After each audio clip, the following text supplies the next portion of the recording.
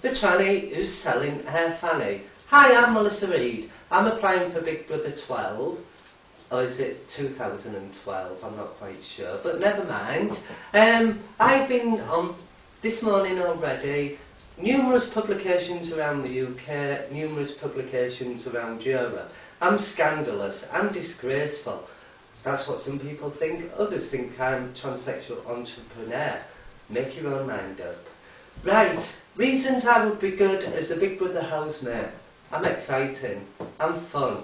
I'm up for anything. I will do anything. Might even be the first uh, one to lose the virginity on the show. You never know. But that's only side across the web.